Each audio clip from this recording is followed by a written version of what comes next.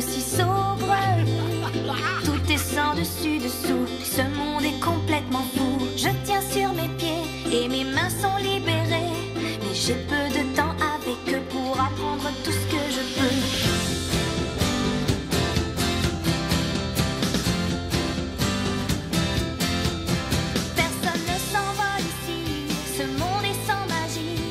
J'adore